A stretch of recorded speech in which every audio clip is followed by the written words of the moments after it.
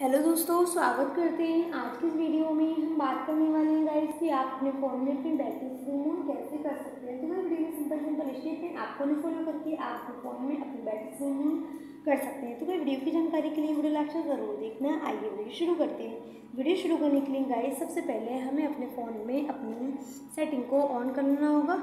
On करने के बाद यहाँ पर आपको इस तरीके का इंटरफेस देखने को मिल जाता है। तो यहाँ पर आपको कई सारे ऑप्शन देखने को मिल जाते हैं। तो हमारा एक ऑप्शन आता है यहाँ पर बैटरी तो गई हम बैटरी पे क्लिक कर देते हैं। क्लिक करने के बाद यहाँ पर आपको कई इस तरीके का इंटरफेस देखने को मिल जाता है। तो यहाँ पर आपको ऑप्शन देखने को मिल जाता है दूसरे नंबर पर बैटरी यूज़र यूज़ तो आपको उस पर क्लिक करना होगा।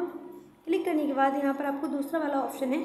बैटरी सेवर तो इसे कट कर देते हैं यहाँ पर। फिर से आपको बैटरी पे क्लिक करना होगा यहाँ पर आपको बैटरी सेवर के पे क्लिक कर देना और यहाँ पर आपको बैटरी सेवर के ऑप्शन को ऑन कर देना है। तो गए इस तरीके से आप अपने फ़ोन में अपनी बैटरी सेविंग मोड को ऑन कर सकते हैं। अगर गाइस आपको अपनी बैटरी सेविंग मोड को ऑफ़ करना है तो यहाँ पर आपको बैट यूज़ बैटरी सेवर के ऑप्शन को ऑफ़ कर देते हैं। तो हमारी जो battery percent battery saving mode है, वो ऑफ़ हो जाएगा। तो गई इस तरीके से आप अपने फ़ोन में अपनी बैटरी सेविंग मोड को ऑन या ऑफ़ कर सकते हैं। तो गई वीडियो पसंद आई हो तो शेयर करें लाइक करें। चैनल पर नए हो तो चैनल को सब्सक्राइब करें। मिलते हैं अगले नेक्स्ट वीडियो में। तब तक के लिए bye bye and take care